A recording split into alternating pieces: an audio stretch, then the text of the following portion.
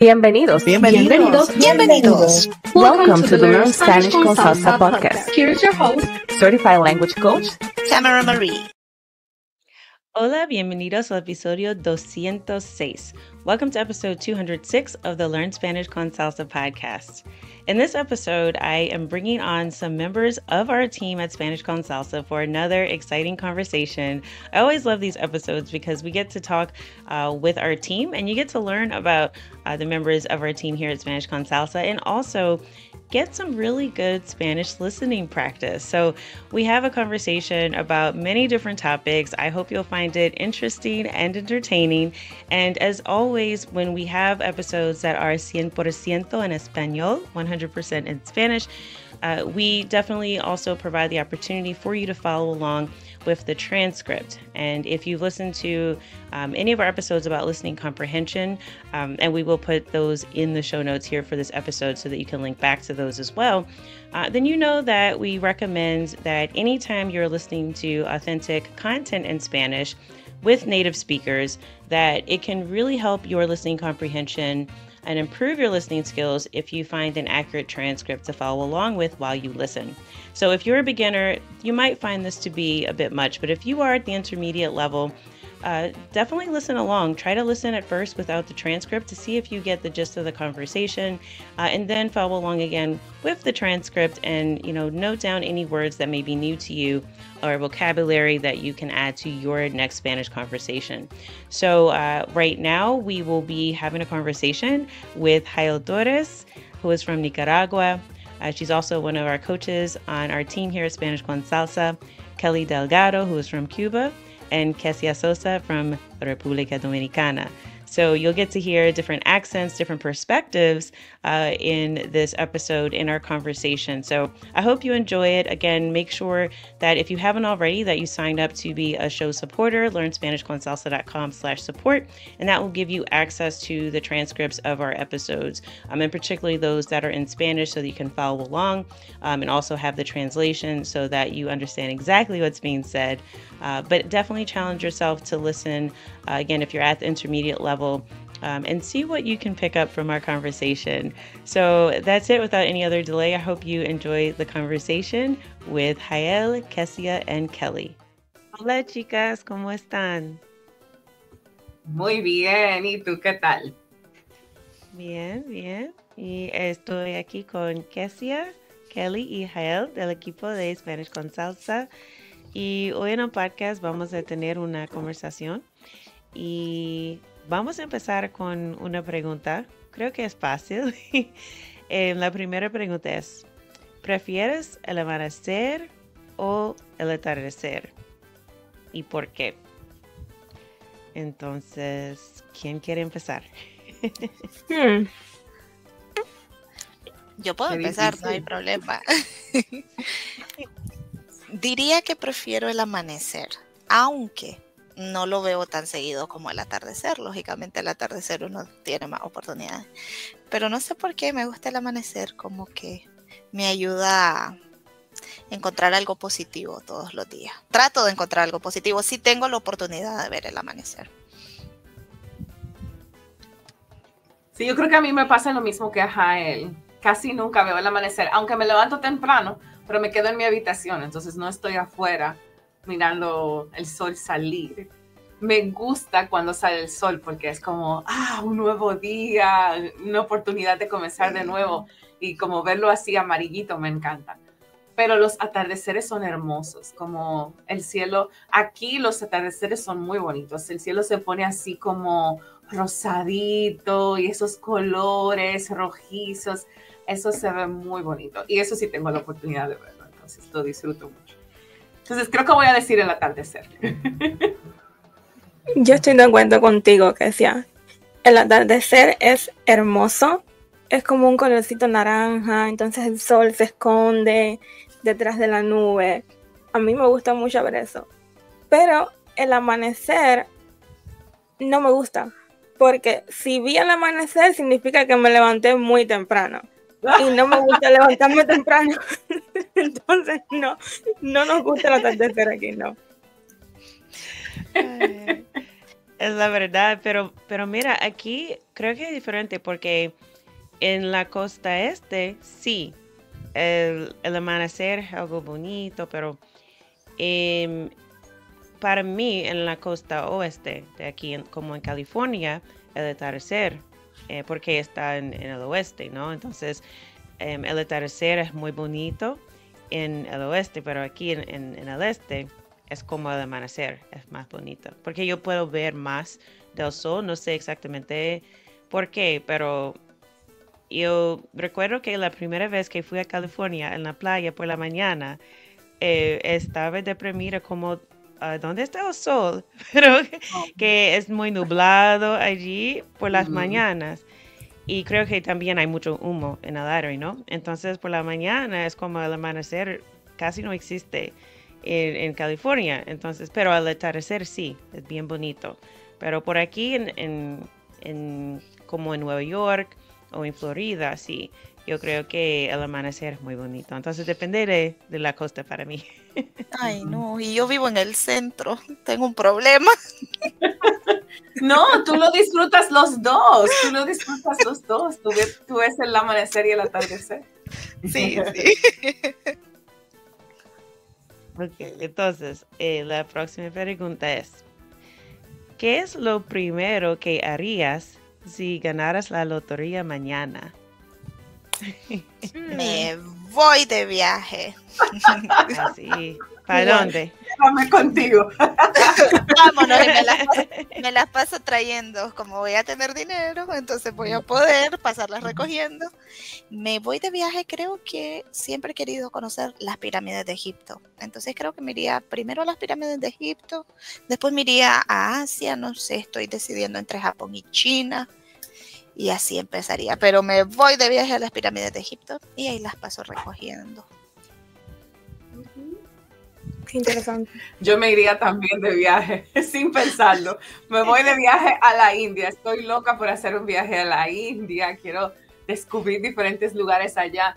Y es tan lejos de República Dominicana. No hay vuelos directos, entonces cuesta mucho el viaje. Así que yo creo que eso sería lo primero que, que haría. Me llevas también. Wow. Ay, yo, bueno, sí quiero viajar, pero lo primero, primero sería montar mi propio negocio, como para no gastar el dinero antes de tener algo. Y ya luego que, te- sí, sí, ya luego que tenga mi negocio, bueno, ahí sí me voy a viajar o me mudo a Europa, tipo seis meses en Italia, seis meses en España, seis meses así. Qué responsable. Sabia, es muy sabia. Ay, Ay, capaz yo de vamos a gastarlo hacer todo. porque muy pronto. Mira, es que yo, yo estaba viendo un- una serie en Netflix que este, este um, atletas profesionales que no tienen dinero Mm. después de ganar como millones de dólares y todos eh, sin dinero ahora. Entonces estaba pensando en eso como, mm, yo, yo quiero que, no sé, creo que yo voy a viajar, de verdad, como, como ustedes, pero en mi mente, porque estoy pensando en ellos, es como, mm, tengo que guardar y, algo para mí, para el futuro, ¿no? Porque yo creo que también mucha gente que gana la lotería después de como dos o tres años no tiene nada. Entonces, yo no sé, yo, yo, yo cre- creo que sí, quiero gastar dinero, pero también tengo que ahorrar. Claro. Entonces, no sé. Pero, ok, pero la pregunta es, ¿qué es lo primero que harías? No qué voy a hacer con todo el dinero. verdad, verdad. Yo primero voy a viajar sí. y después voy a tomar decisiones más sabias como la tuya y la de Kelly. Pero- Ya relajada. sí, sí. Ya relajada, viajando. Con, ok, después de unas tres semanitas viajando, es como, ok. Exacto. Entonces, la primera cosa que haría es, es cambiar mi nombre. ¿Cómo? ¿En Es serio? como, sí, porque sabes que tienen amigos de escuela, de, de tu juventud, que, oh, que si está en las noticias, ella ha ganado la lotería, voy a llamarla. Entonces es como, ¿quién es Tamara? Yo no sé, mi nombre es Rosa. Yo vivo en otra ciudad. Bien pensado, bien pensado. Tamara Rosa. Pero otro nombre ahora, porque no voy a, no voy a decirles secreto. mi nombre secreto. ¿no? Ay, ay. Ok, la, la próxima pregunta es, ¿qué tipo de música te pone de buen humor sin importar cómo te sientas? Yo creo que yo sé con qué hacía, creo que es Ajá. merengue, no sé. merengue típico, ¿no? Sí, y, y hay canciones, como por ejemplo, no puedo dejar de escuchar El farolito de Juan Luis Guerra o La cosquillita de Juan Luis Guerra y quedarme tranquila. Es imposible. Si escucho esa música, voy a bailar de una vez. y sí, me pone de buen humor, definitivamente. Sí. Pues yo comparto lo mismo, iba a decir merengue. Es que me encanta la salsa, pero la salsa se me hace más como, la salsa para mí es como más elegante, como para bailar, como eso, como, ok, vamos a hacer una fiestecita con amigos, vamos a poner salsa y vamos a bailar. Entonces me resulta como más para una fiesta. Pero el merengue sí, es que en cualquier momento lo pones y en cualquier momento te hace feliz. O sea, no necesitas un motivo específico para poner merengue y que te haga feliz. Entonces, para mí el merengue también. Sí. ¿Qué pregunta más difícil? Yo creo que no, no tengo. Quizá la rumba, pero no la escucho tanto, entonces no sabría decir. Pero como que si yo me siento mal, ninguna canción me va a ayudar, me voy a seguir sintiendo mal. Oh. Entonces, no, no tengo, no tengo una música que me... Es el chocolate. sí. Mira, comida, sí, cualquier comida me alegra. Eso sí. Algo diferente. Hay una canción, hay una canción sobre el chocolate. Dice chocolate, choco, choco. y es muy divertida, por cierto. No es merengue, no sé lo que es, pero es una canción alegre. Pruébala junto con el chocolate. Ok, ok. Yo creo que hay una canción de eh, Pharrell, creo que es él, es que solamente es como felicidad, ¿no? Es, ¿Happy? es el nombre de la canción. Sí, exacto. Entonces, para mí eso es que no es una canción que me, me gusta necesariamente, pero si estoy de mal humor, es como, si pongo esa canción, es como, ah, ok, tengo que sonreír, ¿no?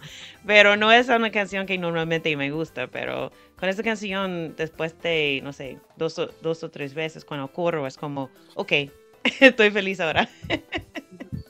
Esa es la de la película de los Minions. Ajá. Mm, Yo No creo lo que sé. sí. Ah, sí. Yo creo que Ah, sí, sí. Sí, sí. Ah, sí, sí, sí, creo que con los Minions, ¿no? O no sé. sí, sí. Ah, Sí. ok. Creo, creo que era la primera, porque hay como cuatro películas de Sí, es verdad. Despicable Sí. Me, sí, como... Pero fue soundtrack de unas, creo que la primera o la segunda, no sé. Ah, ok, ok, ok.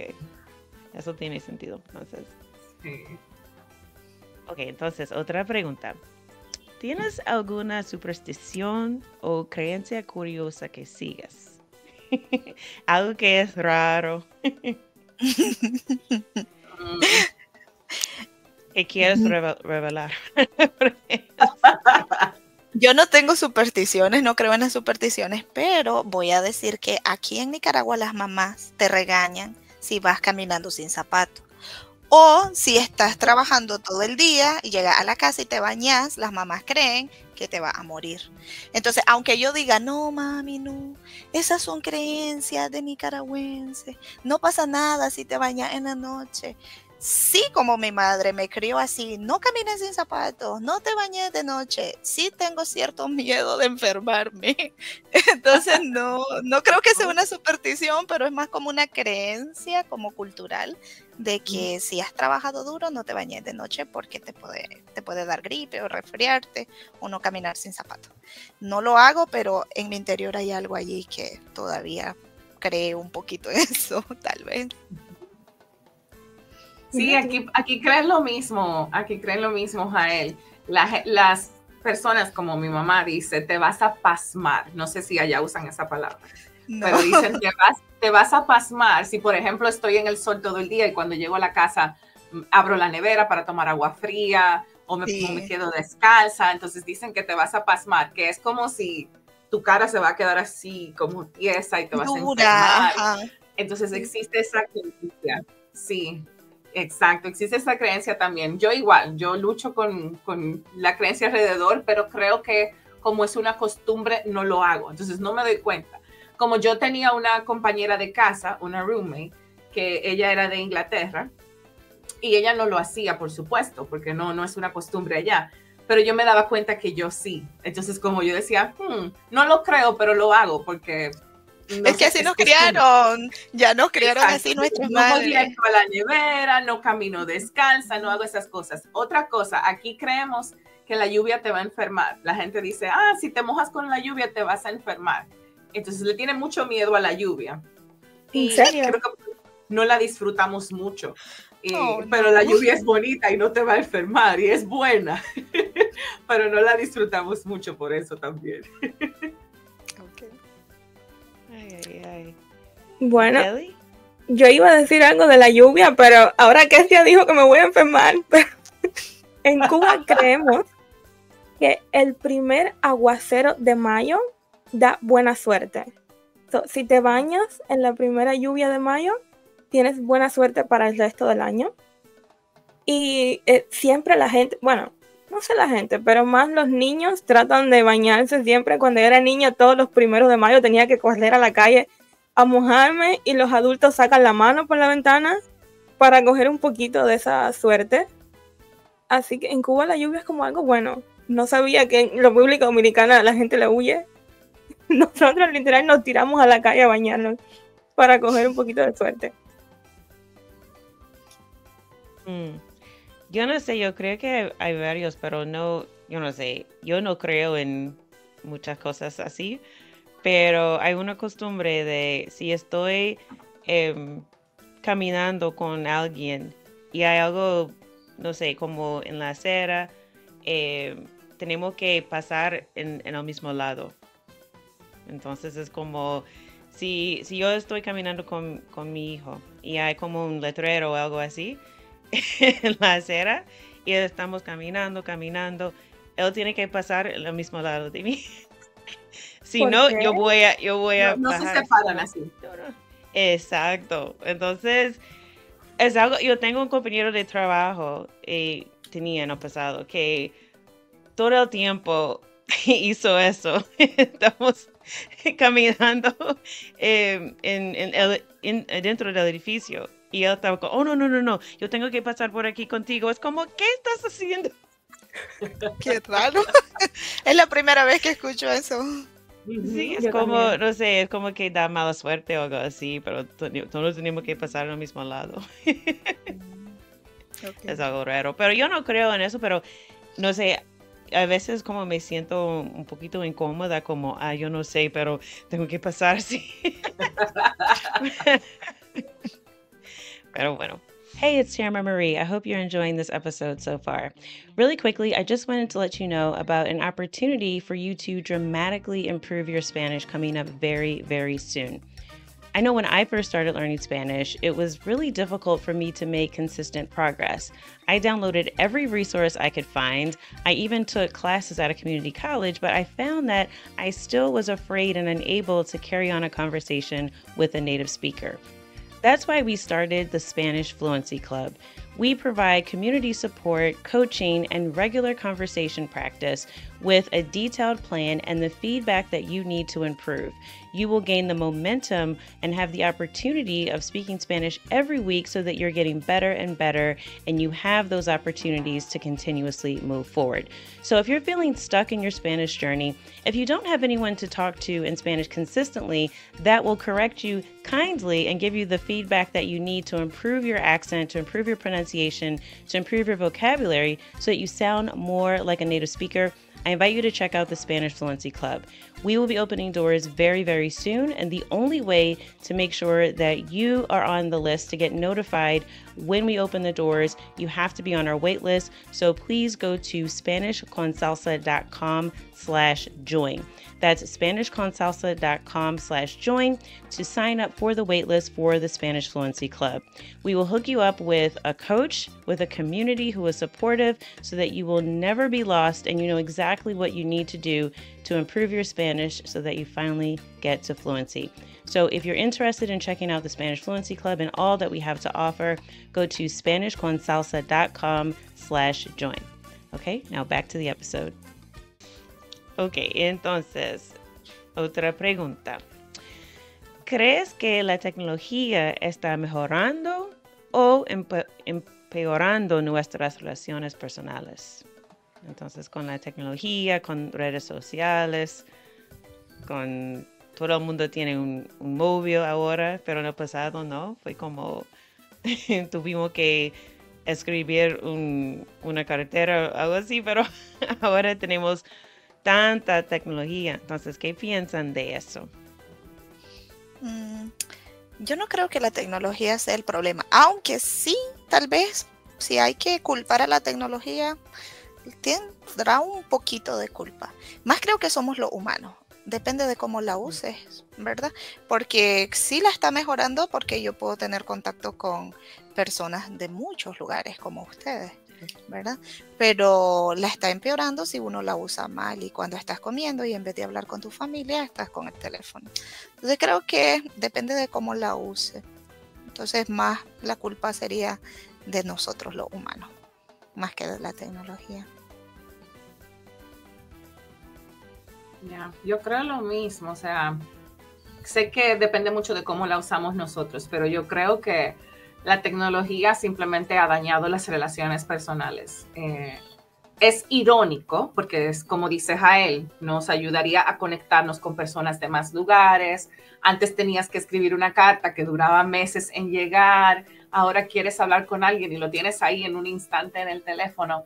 A pesar de que la comunicación es mucho más fácil ahora, se nos hace más difícil tener buenas relaciones, se nos hace más difícil expresar nuestros sentimientos frente a frente, tener conversaciones francas y difíciles, lo evitamos porque no tenemos las habilidades. Entonces, hemos perdido esas habilidades. Y yo creo que las generaciones que van creciendo, como los adolescentes ahora o los niños, van a ser peor que nosotros todavía, porque dependen 100% de la tecnología nosotros vimos los dos procesos, ¿verdad? vimos las cartas, el email, WhatsApp, pero ellos ahora solo conocen ese tipo de comunicación. Entonces creo que a nivel de relaciones, la comunicación es mucho, mucho peor ahora. Hmm. yo estoy de acuerdo porque yo creo que con los niños es algo mal porque no, no, no tienen, no sé, las destrezas de tener ese tipo de conversaciones, ¿no? Tipo de conversaciones difíciles, como dijiste, pero también cosas muy básicas como cómo saludar a alguien o cómo decir, cómo em, responder al teléfono, porque ahora todo tiene, todos tienen em, su propio teléfono, ¿no? Pero en el pasado sí tuvimos que llamar a la casa, ay, yo quiero hablar con Kessia o yo quiero hablar con Kelly, pero ahora no tiene que hacerlo. Entonces, sí, yo creo que con los niños es peor, pero depende de persona, porque yo, yo sé que hay personas que con la tecnología tienen algo como, no sé si es algo de sus personalidades, pero si, por ejemplo, si estoy escribiendo un texto y ellos tienen como un Apple o iPhone, ¿no? Y, si diciendo, ah, tú estás escribiendo algo. ¿Y qué pasó? Porque yo, yo no recibí el mensaje. o, ¿qué estás haciendo? ¿Y por qué tuve que, eh, tuve que esperar como dos minutos? ¿Qué estás haciendo ahora? Es como, ok, yo tengo mi propia vida, yo no estoy todo, todo el tiempo con mi teléfono. Entonces, sí, yo tengo otras cosas que hacer pero ellos no sé, ellos piensan que tú tienes que responder inmediatamente porque tienes un teléfono. Y no sé por qué, pero depende de persona. Pero con mis amigos es como, ellos saben que yo no voy a responder todo, todos los, todos las horas del día. Entonces, depende de, las personas, yo creo. Pero sí, yo creo que con alguna persona como tiene esa idea que tú tienes que... Eh, estar disponible cualquier hora y yo, para mí eso no funciona. Entonces depende de persona, yo creo. Entonces, por ejemplo, eso que tú mencionas tiene que ver con la paciencia. No tenemos paciencia ahora. Antes teníamos paciencia de forma natural porque había que esperar, no había otra opción. Eh, para recibir un telegrama nuestros bisabuelos tenían que esperar o una carta nosotros. Pero ahora dos minutos y una gente se está desesperando como, ay, me dejaste en visto y no me has respondido. ¿Por qué? Entonces, son esas cosas las que van cambiando nuestra forma de pensar. Ya no tenemos paciencia en el teléfono, pero tampoco la tenemos en persona, con nadie. Y eso afecta nuestras relaciones. Sí, yo creo que es la verdad. Ay, yo, bueno, estoy en desacuerdo porque yo creo que la tecnología ha mejorado mucho. O sea, lo que decía que decía Israel, que te puedes conectar con personas que están lejos y para mí eso es súper importante y puedes descubrir gente de diferente cultura, que habla diferente idioma y esa es otra nueva forma de relacionarse, ¿verdad? Y aprender de la otra persona. Pero sí siento que hay mucha gente que se esconden detrás de la tecnología y entonces por eso no tienen las habilidades básicas para tener una conversación, no tienen paciencia, que es lo que dice Kesia, que es verdad, la gente está como, ay, me dejó en visto. Pero porque hay que encontrar un balance, que no puedes ni rechazar la tecnología, ni tampoco solamente todo el tiempo en WhatsApp, todo el tiempo nunca hablas con nadie, solamente con el teléfono. Eso es como buscar el equilibrio entre las dos. Y eso depende de la crianza, como te crían tus padres o como ¿sabes? Si yo tengo un, mi hermano que es pequeño, está todo el tiempo en el teléfono, se lo tengo que quitar y decirle, bueno, sale a jugar para que como mm, pues tenga las dos, porque ninguna es mejor ni peor que la otra, digo yo. Sí, sí yo sé, yo creo que es algo que depende de persona, también depende de tu experiencia, ¿no? Con tecnología, porque todos tenemos una experiencia diferente, ¿no? Ok, entonces, esa pregunta yo voy a empezar con Kelly porque yo sé que ella tiene algo para eso. ¿Tienes alguna receta o plato favorito que te encanta preparar? Sí, sí tengo. A mí me encanta preparar arroz con gris o moros y cristianos, que es arroz con frijoles negros. Es un plato cubano, pero me encanta no prepararlo, porque prepararlo, pero es que sabe tan delicioso. Dios mío, es, no entiendo cómo puede ser tan, tan, tan delicioso. Entonces me encanta. Y casi nunca lo hago. Entonces cada vez que lo hago es como si probaras el cielo. Entonces me encanta hacer arroz con gris. Es mi plato favorito en el mundo mundial. ¿Y qué es? O sea, tú coges, primero tienes que hacer los frijoles aparte les pones solamente ají dentro, más nada, ají, haces los frijoles y luego pues coges el arroz y lo sazonas, le echas pues, no sé, cebolla, ajo, mm, comino, carne picada también. Y entonces luego que tienes el arroz bien sazonado, en vez de hervir el arroz con agua normal, agua, lo hierves con el caldo del frijol. Entonces queda ese arroz ah. con sabor a frijol negro. Pero, no le pones el frijol. Si quieres, es opcional. Yo le pongo un poquito porque tampoco me gusta que tenga muchas las bolitas, ¿no? Los granos. Pero eso es opcional. Pero es que tienes que probarlo. Porque ¿Y sabe... ¿Te los comes los frijoles por aparte? Los frijoles yo lo que hago es reservarlos, guardarlos y hacerlos, después que se acaben las dos, hacerlo normal como potaje de frijoles negros.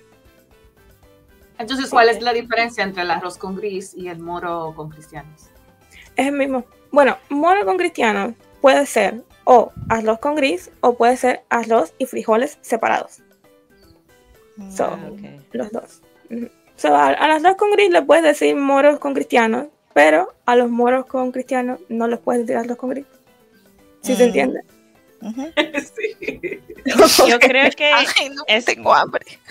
ese, ese plato tiene un nombre que es muy gracioso para mí porque yo creo que tiene que ver con la historia de España, con los moros y los cristianos, que los moros fueron africanos, y los cristianos de Europa. Entonces es como aquí, no sé, es aquí decir algo como negro y blanco, Sí, pero estás diciendo puro cristiano y es, para mí fue muy gracioso. Sí. exactamente. Negros y blancos. Moros y cristianos. Entonces, frijoles. Entonces, yo creo que en Nicaragua hay, hay gallo pinto, ¿no? Pero es diferente tipo de frijoles. Sí, sí. Eh, yo creo, de hecho, pienso que casi en toda Latinoamérica tenemos lo mismo. En toda Latinoamérica comemos arroz y frijoles mezclados de alguna extraña manera. Parece que no hay más nada en Latinoamérica. Y lo peor es que nos encanta y lo podemos comer todo el tiempo. Sí. Sí me gusta a mí preparar gallo pinto, pero me gusta más comerme el gallo pinto de mi mamá. Siento que nunca mi gallo pinto va a ser igual. Sí. Entonces, el- mi madre tiene allí su, su, su técnica y la diferencia, bueno, aquí creo que lo que hace la diferencia entre cualquier otro arroz con frijoles mezclados, el nicaragüense es que queda frito, queda como so- tostado Ah, seco. Entonces, Eso lo hace la diferencia. Pero a mí me gusta preparar comida con queso, porque me encanta el queso. Entonces me encanta preparar, no sé, tacos que lleven queso o este me gusta preparar espagueti que lleve mucho queso porque me encanta el queso y lo disfruto mucho comérmelo después. Preparar, no sé, lasaña o canelones y comérmelo. Ese es mi sabor favorito. ¿Cómo es el gallo pinto? Porque nunca lo he visto. Nunca lo he visto. Entonces se fríe primero, ok, se- el arroz está frito, se fríe, ¿verdad? Y los frijoles cocidos pero rojos. Entonces no negros, no tenemos frijoles negros, en Nicaragua no se usan casi. Entonces cocidos, los sacas de donde están cocidos y si se fríen con cebolla, chiltoma, chiltoma es pimiento verde. Y se fríen por separado y después se mezclan y se vuelven a freír mezclados. Por eso queda tan seco y, y como durito. Y eso Mm. es el gallo pinto. Y eso es para el desayuno, para almuerzo. Siempre, todo lo que sea. almuerzo, para la cena. Para desayuno, almuerzo y cena, no hay falla. Lo comemos en cualquier momento. Sí. Así ¿Y que Para mí es difícil. Para mí es difícil elegir un plato favorito porque me encanta cocinar y me encanta comer. Entonces, no puedo decirte que tengo una receta favorita, pero eh, algo que me gusta hacer mucho es el sancocho. Porque Ah, es, es mucho trabajo. Tienes que pelar muchos víveres, muchos vegetales, tienes que cocinar la carne y entonces después ponerlo todo, esperar que hierva. Pero es como lo que viene después de tanto trabajo, es tan delicioso que la anticipación es buena. Además, nunca, nunca haces sancocho para una persona. Haces, siempre haces mucho sancocho. Entonces creo que eso representa compartir, comer con alguien y eso me gusta, como saber que estoy cocinando esto y que alguien lo va a probar. Cuando yo vivía sola, yo hacía sancocho y nunca pude hacer un poquito. Entonces yo decía, ay, ¿qué si vas a comer sancocho por un mes? Entonces yo compartía, iba donde mi vecina y le decía, vecina, ¿quieres sancocho? Porque no me lo podía comer todo, pero creo que es lo que representa. Entonces, eso me gusta mucho, pero en general paso mucho tiempo en la cocina porque me encanta cocinar y me encanta comer. Sí, yo también tengo, tengo el mismo problema, pero para mí es diferente porque, no sé, yo cambio, no sé, depende del día, depende de, de no sé, cómo, cómo me siento, pero em, yo creo que para mí es cualquier cosa que yo puedo hacer una versión vegana de cualquier plato. Entonces, sí, por ejemplo, creo que como hace una semana más o menos, estaba hablando con mi familia y mi hermano, que no es ningún tipo de vegano, come casi todo, em, él estaba diciendo que, ah, yo voy a, yo voy a cocinar algún arroz con pollo. Y yo digo que yo puedo hacerlo, yo puedo hacer una versión vegana. Y él, él estaba diciendo que, sí, sí, sí. No, yo, ok, es un, es un reto ahora para mí. tú vas a cocinar tú con, con, pollo y yo voy, a, yo voy a cocinar el mío con pollo vegano y con otro tipo de proteína y vamos a tener como toda, toda la familia va a probar los platos para ver cuál es mejor o si saben cuál, cuál tiene pollo de verdad. Entonces para mí es como un reto hacer cualquier cosa vegano. Y que hacía es algo interesante porque estaba eh, pensando en ti porque hay un restaurante, creo que en Nueva York, que tiene un pastel de o bizcocho de tres leches, pero es vegano. Y solo se hace con, em, creo que se hace con leche de coco solamente. Pero es una versión de, oh. de tres leches. E, es que estaba pensando que ah, tengo que probarlo, pero es demasiado rico para mí en este momento. Debería llamarse una leche entonces, si solo tiene leche de coco. De tres cocos, ¿no? Oye, pero eso tiene que ser delicioso. Me gustaría probarlo. Porque me gusta también todo lo que se tiene puede, coco. Sí, se puede también usar coco de almendra y eh, no, le- leche de almendra y también leche de cacahuate, no sé. Entonces eso Mm. puede ser tres, tres leches, pero tres leches de nueces. Pero es que las tres leches es las tres distintas con, con la consistencia de la leche. Una es leche evaporada, la otra es leche, leche condensada y la otra es leche normal. Entonces sí se puede hacer de coco, si la de evaporada, Ah, si la sí. condensada y la es normal. Ajá. Sí. Son tres La texturas, ¿no? Tres Sí, tres texturas de leche. Sí. Sí, mucha, mucha grasa. Qué hambre de repente. ¿no? que son la Wow. una de la tarde aquí. Tengan misericordia. Ahora todos tenemos, eh, tenemos que comer. I hope you enjoyed our conversation and you got to learn a little bit about our team. Uh, now, that was just part one. We will continue with part two of the conversation in next week's episode of the podcast. But if you want to, again, get access to the transcript, uh, you can definitely go to learnspanishconsalsa.com slash 206 for episode 206 of the podcast. Uh, there you'll be able to uh, access uh, the show notes. And also, if you can sign up as a show supporter uh, on that website, then you will get access to the transcript. Now, I also do want to mention that if you are looking for more opportunities to improve your Spanish and to speak Spanish, then definitely make sure you are on the wait list for the Spanish Fluency Club. Uh, just a short time, we will be opening the doors again. So if you go to SpanishConsalsa.com slash join, that is SpanishConsalsa.com slash join, then you will be able to uh, sign up for our wait list and you will be the first one notified when we open up our new uh, session of, um, of new groups for the Spanish Fluency Club. So, if you're not as familiar, this is our group coaching program where we have a conversation club where you're able to practice conversation each and every week with a native Spanish speaker from our team. Uh, it may end up being Kelly or uh, or Kezia, and you will be able to be matched with other Spanish learners that are on your level. So if you're thinking, well, I'm a beginner, this sounds intimidating, I don't want to be in a group with someone who's, you know, speaking Spanish like I just heard today, and I can't follow along, um, or if you're thinking, you know what, I'm a little more advanced, I need to be challenged, I don't want to sit in a, you know, a group where everyone's still trying to figure out how to say como estás, right? Uh, then we will make sure that you get matched up with a group that's appropriate for your level.